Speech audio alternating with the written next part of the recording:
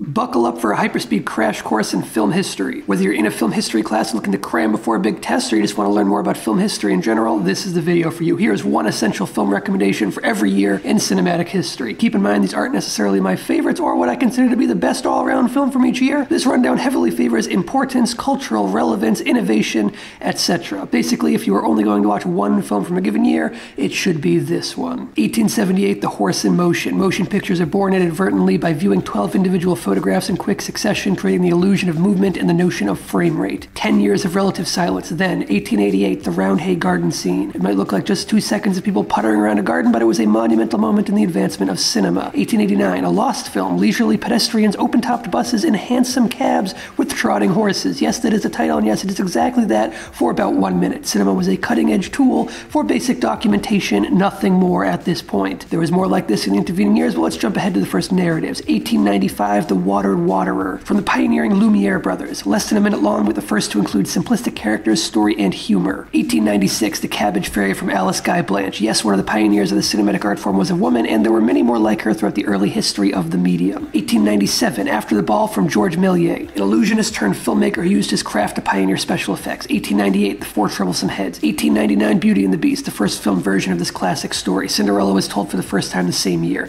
1900, Joan of Arc. 1901, What is Seen Through the Keyhole, important in furthering the idea of perspective, in this case, the POV through a keyhole. 1902, Le Voyage dans la Lune, aka A Trip to the Moon. 1903, The Great Train Robbery, an important step forward in many regards. 1904, The Voyage Across the Impossible. 1905, The Seven Ages. 1906, The Story of the Kelly Gang, the first feature length film at 70 minutes long, though only 17 minutes of it remain intact today. 1907, The Prodigal Son, the first 90 minute feature, though it is more like a documentation of a stage performance. 1908, Fantasmagorie, the first animated film. 1909, The Yiddisher Boy pioneered the notion of flashbacks in film. 1910, Edison's Frankenstein. 1911, Little Nemo, an important step forward in animation, including color. 1912, Friends. Mary Pickford becomes the first human subject of a close up. Yes, it took this long to move the camera in close. 1913, Arizona, a feature length western. 1914, The World, the Flesh, and the Devil, the first feature film made in color, which was made using the Kinemacolor process, using colored filters over black and white film. 1915, Birth of a Nation, deplorable in its messaging, but a monumental leap forward in film craft. 1916, Intolerance. 1917, The Gulf Between, a lost film and the first film made with Technicolor. People continue to give Wizard of Oz that label, even though it came out over 20 years later. 1918, A Dog's Life. Charlie Chaplin becomes the first actor to receive a million dollar contract. 1919, Daddy Longlegs. 1920, The Cabinet of Dr. Caligari. German Expressionism is perfected in the cinematic art form, forever influencing the horror genre. 1921, The Kid. 1922, Nosferatu. 1923, Safety Last. 1924, The Last Laugh. Hugely innovative and influential, pioneering techniques like dynamic camera movements and bold rack focuses. 1925, The Lost World. Key in the development of the stop motion animation form. 1926, The General. 1927, The Jazz Singer. Movies had incorporated music and sound effects by this point, but The Jazz Singer inadvertently became the first talkie by including spoken dialogue. This innovation was largely inadvertent, but wound up shaking the entire industry to its core. 1928, Steamboat Willie changed animation forever. 1929, Un Chien Andalou, a landmark in experimental filmmaking and surrealism. The same year saw the first Academy Awards ceremony where the top prize, dubbed Outstanding Picture, was awarded to Wings. The 1930s were where things really start heating up and it becomes more and more difficult to pick a single film to represent each year. 1930, All Quiet on the Western Front. 1931, M from Fritz Lang, a monumental leap forward in terms of narrative storytelling and film craft. Also, Universal ushers in the new wave of horror with Frankenstein and Dracula released in the same year.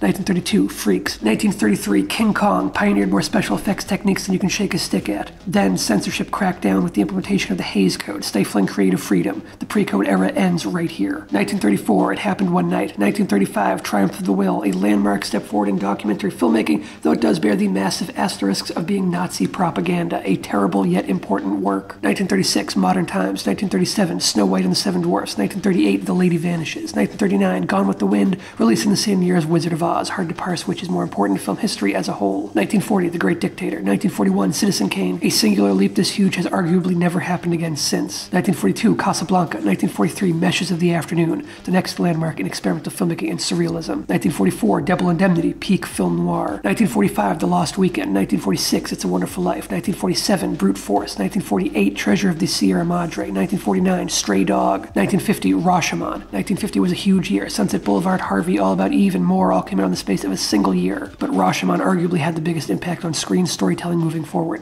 1951, Ace in the Hole. 1952, Ikiru. 1953, The Wages of Fear. 1954, On the Waterfront. Brando plays a significant role in changing up the style of acting moving forward with a slant towards naturalism. 1955, Pather Panchali. 1956, A Man Escaped. 1957, 12 Angry Men. 1958, Vertigo. Meanwhile, in France, the French New Wave is born with Le Beau Serge. 1959, Shadows. John Cassavetes creates what is essentially the first independent film and would remain a lone operator in this area for quite some time. 1960, Breathless. Not the first, but the quintessential French New Wave film, pioneered jump cuts to say the absolute least. 1961, Last Year at Marienbad. 1962, Lawrence of Arabia. 1963, Eight and a Half. 1964, Doctor Strangelove or How I Learned to Stop Worrying and Love the Bomb. 1965, Repulsion. 1966, The Good, the Bad, and the Ugly. 1967, Bonnie and Clyde and The Graduate come along and kickstart the new Hollywood movement. The following year, the Hays Code is finally abolished for good and filmmakers finally have freedom afforded to them that was stifled for decades. 1968, Night of the Living Dead. 1969, Midnight Cowboy. Subversive is putting it mildly. First and only X-rated film to win Best Picture at the Oscars. Now we enter the 1970s, my personal favorite decade in filmmaking where it becomes excruciatingly difficult to recommend only one film per year, but I will tough it out. 1970, Five Easy Pieces. 1971, McCabe and Mrs. Miller. 1972, The Godfather. 1973, The Exorcist. 1974, Chinatown. 1975, One Flew Over the Cuckoo's Nest. 1976, Network. 1977, Eraserhead. 1978, The Deer Hunter. 1979, Apocalypse Now. 1980, Raging Bull. The following year, Reagan takes the presidency and fucks up the culture for the rest of the decade, but good films still find a way through. 1981, Reds, ahead of its time in so many ways and still ahead of the current times socially and politically. 1982, Fitzcarraldo. Werner Herzog moves a goddamn boat over a mountain. 1983, Project A. 1984, Paris, Texas. 1985, Come and See, the most harrowing war film that has ever been made. 1986, Blue Velvet. 1987, Wings of Desire. 1988, Die Hard. 1989, The Killer. 1990, Goodfellas. 1991, The Lovers on the Bridge. 1992, Malcolm X. 1993, Three Colors Blue. 1994, Pulp Fiction. 1995, Heat. 1996, Fargo. 1997, Boogie Nights. 1998, The Truman Show. 1999, The Matrix. 2000, Requiem for a Dream. 2001, Mulholland Drive. 2002, City of God. 2003, Old Boy. 2004, Before Sunset. 2005, Cache. 2006, Children of Men. 2007, No Country for Old Men. 2008, Synecdoche, New York. 2009, Dogtooth. 2010, The Social Network. 2011, A Separation. 2012, The Hunt. 2013, 12 Years a Slave. 2014, Birdman. 2015, Mad Max Fury Road. 2016, Moonlight. 2017, The Square. 2018, Burning. 2019, The Irishman. 2020, Another Round. 2021, The Worst Person in the World. And finally, 2022, Everything Everywhere All at Once. This rundown damn well better have given you some new movies to check out, so go do that. But make sure you subscribe to Brickwall Pictures first.